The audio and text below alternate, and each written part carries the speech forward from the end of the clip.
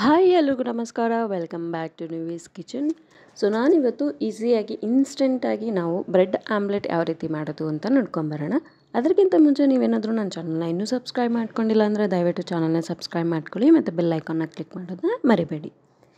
ಇಲ್ಲಿ ನಾನು ಒಂದು ಐದು ಮೊಟ್ಟೆನ ತೊಗೊಂಡಿದ್ದೀನಿ.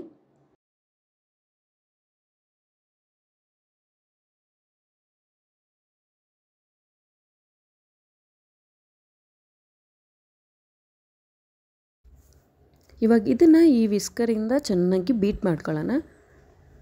ಬೀಟ್ ಮಾಡ್ಕೊಂಡಾದಮೇಲೆ ಇದಕ್ಕೆ ನಾನು ಒಂದು ಚಿಕ್ಕ ಟೊಮೊಟೊನ ಕಟ್ ಮಾಡಿಕೊಂಡು ಇಲ್ಲಿ ಹಾಕ್ಕೊಳ್ತಾ ಇದ್ದೀನಿ. ಆಮೇಲೆ ಒಂದು ಎರಡರಿಂದ ಮೂರು ಮೀಡಿಯಮ್ ಸೈಜ್ ಇರಲಿರುವಂಥ ಒಂದು ಈರುಳ್ಳಿನ ನಾನು ಚಿಕ್ಕದಾಗಿ ಕಟ್ ಮಾಡಿಕೊಂಡು ಹಾಕ್ಕೊಂಡಿದ್ದೀನಿ. ಭಾಳ ದಪ್ಪನೂ ಇರಬಾರ್ದು, ಚಿಕ್ಕ ಚಿಕ್ಕದಾಗಿ ಕಟ್ ಮಾಡ್ಕೋಬೇಕಾಗತ್ತೆ. ಆಮೇಲೆ ಒಂದು ಸ್ವಲ್ಪ ಕೊತ್ತಂಬರಿ ಸೊಪ್ಪನ್ನ ನಾನು ಇಲ್ಲಿ ಹಾಕ್ಕೊಳ್ತಾ ಇದ್ದೀನಿ. ಇದಕ್ಕೆ ಒಂದು ಟೇಬಲ್ ಸ್ಪೂನ್ ಅಷ್ಟು ನಾನು ಖಾರದ ಪುಡಿನ ಹಾಕ್ಕೊಂಡಿದ್ದೀನಿ. ಆಮೇಲೆ ಒಂದು ಸ್ವಲ್ಪ ಉಪ್ಪು, ರುಚಿಗೆ ತಕ್ಕಷ್ಟು ಅಪ್ರಾಕ್ಸಿಮೇಟ್ಲಿ ಒನ್ ಟೀ ಸ್ಪೂನಷ್ಟು ಹಾಕ್ಕೋಬೋದು. ಆಮೇಲೆ ಒಂದು ಸ್ವಲ್ಪ ನಾನು ಇಲ್ಲಿ ಅರಿಶಿನ ಹಾಕ್ಕೊಂಡಿದ್ದೀನಿ.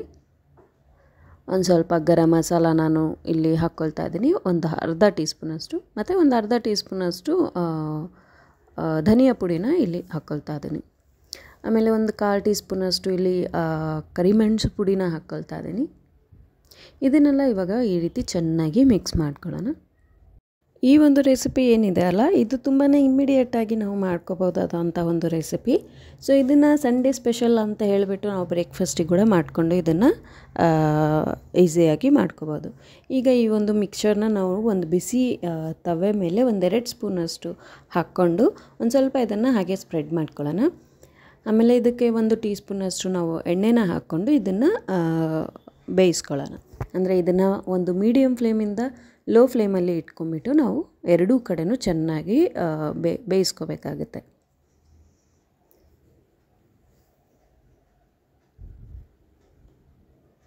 ಈ ರೀತಿ ಎರಡೂ ಕಡೆನೂ ಮಾಡ್ಕೊಂಡಿದ್ದಾದಮೇಲೆ ಇದ್ರ ಮೇಲೆ ಎರಡು ಕಡೆ ರೋಸ್ಟ್ ಮಾಡ್ಕೊಂಡಿರೋ ಅಂಥ ಒಂದು ಬ್ರೆಡ್ನ ನಾನು, ನಾವು ಇದ್ರ ಮೇಲೆ ಇಟ್ಕೊಳ್ಳೋಣ.